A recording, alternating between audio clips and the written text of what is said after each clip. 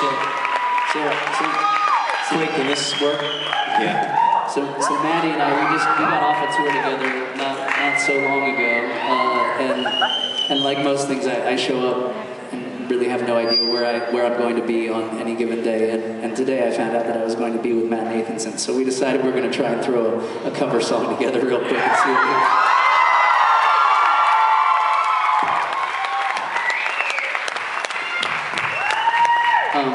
But that said, there's a good chance I'll mess it up. Not Matt, he's, he's always on the shit, so we'll see how this goes.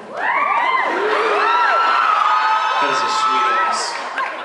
That's a sweet honey. Yeah, I look better than this.